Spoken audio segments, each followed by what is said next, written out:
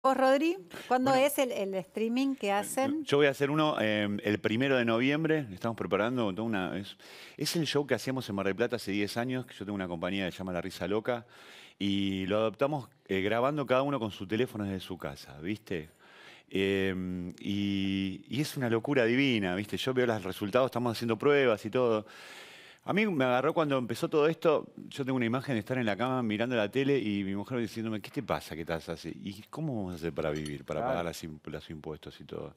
Y lo primero que a mí me salió y me funcionó muy bien fue el Zoom. Yo arranqué a hacer shows por Zoom, cumpleaños que vos tenés, que se hace por Zoom, entra Vagoneta y te cuenta 20 minutos de chiste. Y le- lo Es el levanta. mejor porque, cumpleaños del mundo. Qué lindo sí, que sí, estaba. sí. Todo Porque- el mundo, es Porque espectacular. viste ¿Lo que estás los Zoom- haciendo ahora? Sí, claro, sí Y hago. por- y Hoy por tengo la cuatro gente- a la noche. ¿Y la Muy bien. gente? Sí. Ah, bueno. Sí, porque son baratos, son muy baratos. Entonces, ¿Cómo es la gente donde, donde Rodrigo Vagoneta Shows, mi, mi Instagram, ahí yo me conecto, ahí se conecta la gente, te agradezco mucho.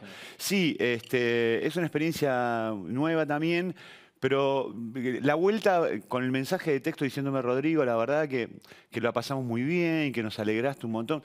El Zoom tiene una característica que, que cada, cada rato se produce en pausa, ¿viste? Que cuando estás con tu familia, que escuchás, ¿viste? Que de golpe hay unas pausas. En cambio, claro, cuando hay un, un coordinador o un animador, en llevando. este, ¿viste? Lo Lo va va llevando, claro.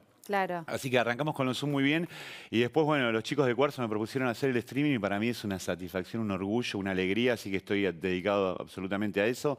También teatro con los autos, con Panam.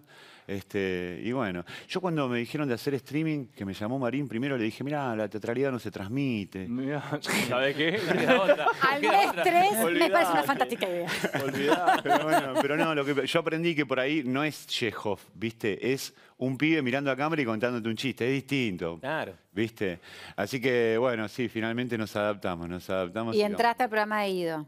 Este programa de. Guido es muy feliz con Guido. Claro. que- porque llega a todo el país, ¿viste? Lo ve mucho. La gente tiene un, tiene un programa hermoso que lo hace, vos ves que lo hace con el, caro, con el corazón, con mucho cariño, que, que, que cómo trata a la gente. Él es, él es un amor, ¿viste? Y, y bueno, se transmite. vos de repente un furor con ese baile del Sí. pájaro, desnucado, no sé. No, no, Sí, baile no- del pájaro, yo lo hacía en los boliches cuando era chico con mis amigos, me decían, íbamos, no sé, a Sobremonte, a Mar del Plata, y me decían, estaba, viste, todos así, todos muy chetos bailando. Claro, así, me decían, Rodri, haz el pájaro, por favor.